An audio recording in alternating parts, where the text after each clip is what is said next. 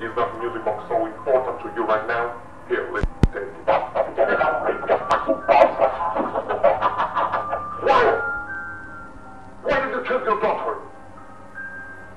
I had to make her stop. She couldn't stop Stop what? crying. Like a little baby. So, let me get this straight. You got mad because she couldn't stop crying and she shot you to death with her own Why? My brother.